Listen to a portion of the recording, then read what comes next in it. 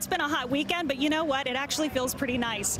We're looking at the view from Dallas, blue sky, but yes, we do see some clouds rolling back into the mix this evening.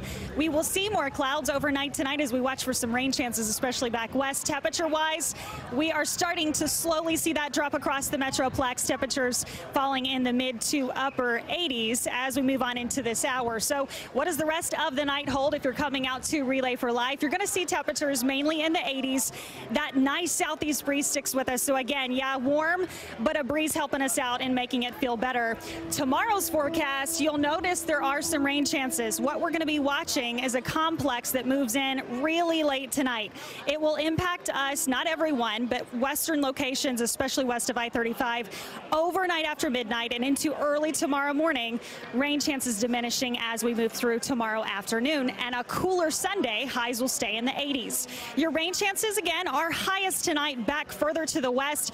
Most of the Metroplex about a 40 to 30 percent chance to see one of those storms as they are on the weakening phase after midnight into early Saturday or Sunday morning, I should say. And then as we get into later day Sunday, most of the rain is gone, just hanging on to some low rain chances as we wrap up the weekend. The week ahead after this, we're talking about continued heat. Temperatures looking into the next week are going to stay quite toasty.